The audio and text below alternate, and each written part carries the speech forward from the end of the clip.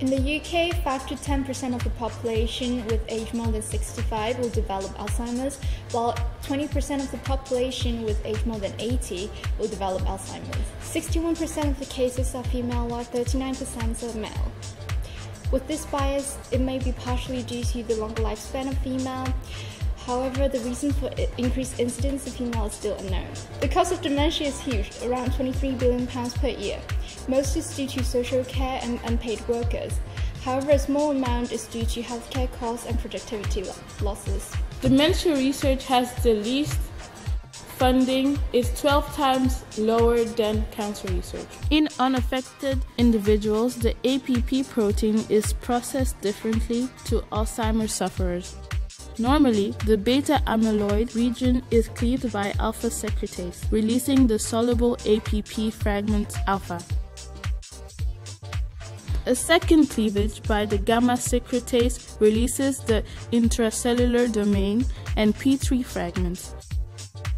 In Alzheimer's patients, it is beta secretase that makes the first cleavage releasing a soluble APP fragment beta.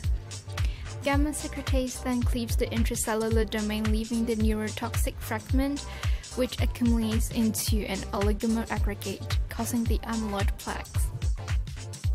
Tau protein is a microtubule associated protein and it is found abundantly in the neurons of the brain. In Alzheimer's, it is hyperphosphorylated and the ability to stabilize microtubule is impaired. The overall result is impaired cellular transport and communication between cells, eventually leading to neuronal cell death. Alzheimer's is a neurodegenerative condition which often involves the degeneration of the brain. And in addition to having a problem with how the brain works, it can also have an effect on all the people around us.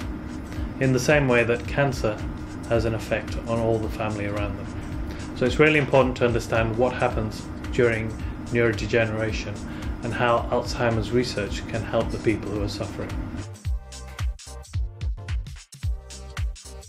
My work here in the lab is using the fruit fly as a model organism to study the disease. One of the problems with looking at a human situation is that you can't experiment on the human itself. So we need another system where we can address the same questions.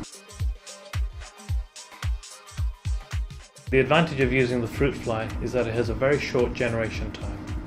Additionally, it's quite cheap to maintain, so surrounding me are several different types of fly that I can use to assess whether gene X will interact with gene Y. And so we can use these genetic tricks to be able to ask fundamental questions that are important for Alzheimer's. So we can analyze the brain and we can ask whether the same processes that occur in a, an Alzheimer's patient also occur in a fly brain. In terms of cost, the fly is a lot cheaper to house and to maintain. The fly requires very little maintenance. They can be kept in tubes and you can allow them to lay eggs. As they lay eggs in the food, they eventually crawl up the tube and pupate. This whole generation type takes roughly two weeks. With a fly, it's very simple to generate huge amounts of data. With a mouse, it will take a lot longer. You also need infrastructure in place for the mouse. You need a mouse house you need a place to store them, you need staff to manage them, to clean their cages. Whereas with a fly, they can manage themselves. In terms of research time, a more complex organism is going to take a lot longer to do the work. So the fly is a relatively simple model, it only has four pairs of chromosomes, in which case it's a lot easier to use the fly and a lot quicker to generate data So once we've set up a cross, the next thing we need to do is analyze the data. Often this involves a dissection where we can label specific neurons to see which ones have degenerated.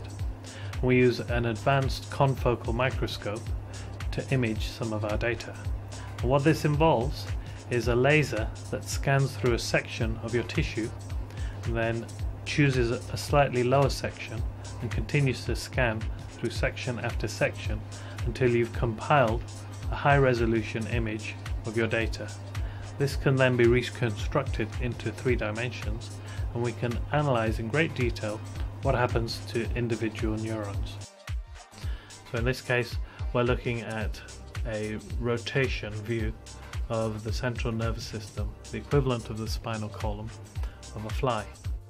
So using this technique we're able to label and show which neurons we've targeted with too much of a protein.